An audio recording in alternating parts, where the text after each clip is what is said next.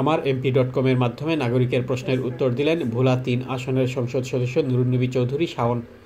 অবকাঠামোগত উন্নয়ন কর্মকাণ্ড প্রসঙ্গে প্রশ্নটি করেন লালমোহন উপজেলা ছাত্রলীগের সিনিয়র সহসভাপতি মুর্তজা সজীব। অডিও বার্তার মাধ্যমে এমপি নুরুন্নবী চৌধুরী এর জবাব দেন। ধন্যবাদ সজীবকে আপনার সুন্দর প্রশ্নের জন্য। আসলে লালমোহন তজিমুদ্দিন দীর্ঘদিন উন্নয়ন বঞ্চিত একটি জনপদের নাম। লালমোহন তজিমুদ্দিনে উন্নয়ন হয়েছে লালমোহন তজিমুদ্দিনে উন্নয়ন হয়েছে শুধু সন্ত্রাসের তেইশ বছরে মেজর হাফিজ সাহেব শুধু সন্ত্রাসের উন্নয়ন করেছে। লালমোহনের মানুষের ভাগ্যের কোনো উন্নয়ন করেনি।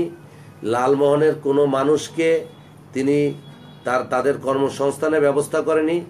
লালমোহনের কোনো মানুষকে তিনি তার ব্যক্তিগত পক্ষ থেকে কিংবা সরকারের পক্ষ থেকে কোনো চিকিৎসা কিংবা সাহায্য সহযোগিতার হাত তিনি বাড়াননি। আজকে আমি লালমোহন পৌরসভায়, আমি যখন ভোট করতে যাই, অধিকাংশ পৌরসভার ভিতর থেকে প্রধান সড়কে উঠতে গেলে কাদা পাড়িয়ে, লুঙ্গি উঁচিয়ে আমাদের লালমোহনের পৌরসভা বাসিন্দারা, তারা এই লালমোহন পৌরসভার প্রধান সড়কে আসত। আজকে আমি বলতে চাই যে লালমোহনের এই যে পৌরসভার যে উন্নয়ন, লালমোহন পৌরসভার যে উন্নয়ন, আমি ইতিমধ্যেই এই কিছুদিন আগে লালমোহন পৌরসভার উন্নয়নের জন্য আমি এখানে সাড়ে তেইশ কোটি টাকা বরাদ্দ এনেছি। ইতিমধ্যেই আমরা লালমোহন পৌরসভায় আমরা উত্তর বাজার সহ চারটি ব্রিজ যে আমরা এখানে টেন্ডার করাবো, আমরা লালমোহন পৌরসভার এই তেইশ কোটি টাকার মধ্যে আমরা প্রায় সাড়ে চার কিলোমিটার নতুন রাস্তা নির্মাণ করব। আমরা লালমোহন পৌরসভায় বর্ষায় আমাদের অধিকাংশ বাড়ি পানির নিচে চলে যেত। আমরা এখানে কোনো ড্রেনের ব্যবস্থা ছিল না। আমরা এখানে ড্রেনের ব্যবস্থা করব। আমরা একটি কিচেন মার্কেট করব। আমরা এই অর্থ দিয়ে। আমরা এছাড়াও আমাদের এই লালমোহনের অধিকাংশ ইউনিয়নের রাস্তাঘাটের অবস্থা ছিল বেহাল। কোনো রাস্তায় লালমোহনে পাকা থাকলেও সেগুলো মেনটেন্যান্সের অভাবে খুব জরাজীর্ণ অবস্থা ছিল। সেখানে আমরা ইতিমধ্যেই প্রায় দেড়শোর উপরে দেড়শো কিলোমিটারের উপরে আমরা রাস্তা পাকা করেছি, নতুন রাস্তা নির্মাণ করেছি। এছাড়াও আমরা প্রায় আশি কিলোমিটার রাস্তা আমরা মেনটেনেন্স করেছি।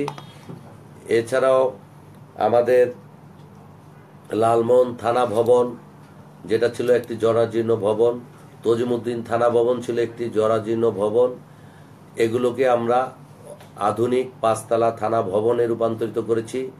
লালমোহন হাসপাতালকে ছিল একত্রিশ শয্যা বিশিষ্ট একটি ছোট হসপিটাল। সেখানে আমাদের যে জনসংখ্যা, সেই জনসংখ্যার তুলনায় হাসপাতালে বেডের সীমিত বেডের কারণে আমাদের সকলে চিকিৎসা থেকে বঞ্চিত ছিল। লালমোহন হাসপাতালে কোনো ওটি ছিল না। আমরা একত্রিশ শয্যা বিশিষ্ট হসপিটালকে আমরা একান্ন শয্যায় উন্নীত করেছি। আমরা এই লালমোহনে আজকে ছোটোখাটো অপারেশন হলেই তাদেরকে নিয়ে ভোলা, বরিশাল কিংবা ঢাকা রাজধানীতে আসতে হতো। আজকে লালমোহনে ওটি আমরা স্থাপন করেছি এবং সেখানে আমরা ওটিও উদ্বোধন করেছি। আজকে ছোটোখাটো অপারেশন আমাদের এই লালমোহন হসপিটালেই আমরা করতে পারছি। এছাড়াও আমাদের স্বাস্থ্যসেবা প্রান্তিক জনগোষ্ঠী তথা তৃণমূলের মানুষের কাছে পৌঁছে দেওয়ার জন্য আমরা সাতাইশটি কমিউনিটি ক্লিনিকের মাধ্যমে আজকে স্বাস্থ্যসেবা দিয়ে যাচ্ছি। আজকে এই সকল কমিউনিটি ক্লিনিকগুলোতে মাননীয় প্রধানমন্ত্রী সহযোগিতায় আজকে তিরিশ ধরনের ঔষধ আজকে বিনামূল্যে আজকে পাচ্ছে। এই সকল কারণেই আমরা এছাড়াও লালমোহনের লাঙ্গলখালী বৃষ্টি ছিল আমাদের এই লালমোহনবাসীর একটি বিরাট দুঃখ। এই লাঙ্গলখালী বেলি ব্রিজে অনেক মানুষ দুর্ঘটনার শিকার হতো প্রতিনিয়ত। আজকে আমরা আমাদের যোগাযোগ মন্ত্রীকে এনে আমরা মাননীয় প্রধানমন্ত্রীর সহযোগিতায় আমরা সেই লাঙলখালী ব্রিজটি একটি দৃষ্টিনন্দন আধুনিক ব্রিজ আমরা সেখানে স্থাপন করেছি। উন্নয়নের কথা বলতে গেলে আসলে এই লাইভে বলা সম্ভব না। তো এখনও যে সকল এলাকা উন্নয়ন বঞ্চিত আছে বলে আপনাদের মনে হয়, তথা রাস্তাঘাট যদি এখনও ব্রিজ কালভার্ট বাকি থাকে, আমি আপনারা হয়তো জানেন যে কিছুদিন আগে ভোলা উন্নয়ন নামে একটি প্রকল্প মাননীয় প্রধানমন্ত্রী জাতীয় একনেক বৈঠকে পাশ অনুমোদন দিয়েছে, যেখানে ভোলার জন্য চারশো সাড়ে চারশো কোটি টাকা বরাদ্দ দিয়েছে। আমার লালমোহন এবং তজুমুদ্দিন উপজেলায় আমরা আশি কোটি টাকা আমরা বরাদ্দ এনে পেয়েছি। আমরা এই ভোলা উন্নয়নে ইতিমধ্যেই আমি সাড়ে দশ কোটি টাকার টেন্ডার আমাদের সম্পন্ন হয়েছে। টেন্ডার আমাদের আহ্বান করা হয়েছে এবং খুব শীঘ্রই আরও দশ কোটি টাকা মতো আমরা টেন্ডার ইনশাল্লাহ আমরা আহ্বান করাবো জুনের আগেই। আমরা আশা করি আগামী অর্থ বছরে আমাদের এই ভোলা উন্নয়নের কাজগুলো শেষ হলে আমাদের, আপনাদের চোখে এখন যে সকল এলাকাগুলো উন্নয়ন বঞ্চিত বা রাস্তাঘাট মেরামত, মনে হচ্ছে যে খারাপ অবস্থা, এই রাস্তাঘাট আশা করি আমরা সব শেষ করতে পারব, আশা করি আমাদের ভোলা উন্নয়ন এর বাইরেও যদি কোনো রাস্তা থেকে থাকে, অবশ্যই আমরা স্থানীয় মন্ত্রণালয়ের মাধ্যমে কিংবা যোগাযোগ বন্ধের মাধ্যমে আমরা সেগুলো রাস্তাঘাট এবং তাছাড়াও আমাদের এই প্রাইমারি স্কুলে আমাদের প্রায় একশো তিরিশটির মতো আমরা একাডেমিক ভবন স্থাপন করেছি। আমরা সাইক্লোন শেল্টার কাম একাডেমিক ভবন স্থাপন করেছি। বারোটি দ্রুত কাজ এগিয়ে যাচ্ছে। টেন্ডার হয়েছে। এছাড়াও আমাদের সামনেও আরও প্রায় পনেরোটির মতো ওয়ার্ল্ড ব্যাংকের একটি প্রকল্পের মাধ্যমে আমরা সাইক্লোন শেল্টার কাজ আমরা করতে পারব, যা ডিবিপিতে অন্তর্ভুক্ত আছে। এছাড়াও আমাদের ত্রাণে এই যে কিছুদিনের মধ্যেই লালমোহন এবং তজিমুদ্দিনে আরও ছয়টি সাইক্লোন শেল্টার স্থাপন হবে। আমরা লালমোহন, ফরাজগঞ্জ নদীর উপর দিয়ে আমরা ষোলো কোটি টাকা ব্যয়ে আমাদের দৃষ্টিনন্দন একটি ব্রিজ স্থাপন করেছি। এছাড়া আমাদের এই লালমোহন তজুমুদ্দিনের মানুষকে নদী ভাঙার তথা মেঘনার করাল গ্রাস থেকে রক্ষার জন্য মাননীয় প্রধানমন্ত্রী তজুমুদ্দিন স্বর রক্ষাবাদ নামে একটি প্রকল্প সাড়ে চারশো কোটি টাকা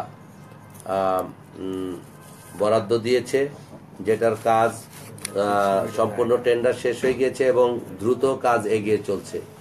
এছাড়া লালমোহন উপজেলায় ধলিগঞ্জ নগরকে রক্ষার জন্য একশো আটত্রিশ কোটি টাকার বরাদ্দ দিয়েছে মাননীয় প্রধানমন্ত্রী, যার কাজ প্রায় শেষ পর্যায়ে।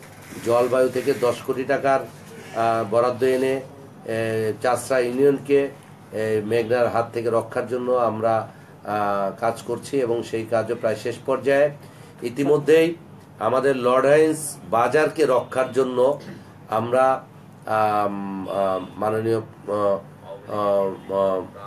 পানি সম্পদ মন্ত্রীর মাধ্যমে আমরা ইতিমধ্যেই পাঁচশো অষ্টআশি কোটি টাকার একটি প্রকল্প যেটা মন্ত্রা মন্ত্রী মহোদয় ইতিমধ্যেই যিনি অনুমোদন দিয়েছেন যেটা এক না এক সবাই যাবে এবং আশা করি এই প্রকল্পটা পাশের মধ্য দিয়ে আমাদের লালমোহনের কোনো এলাকা আর মেঘনার সেই নদী করাল গ্রাসে ক্ষতবিক্ষত হবে না, মানুষ ভিটেমারি হারাবে না।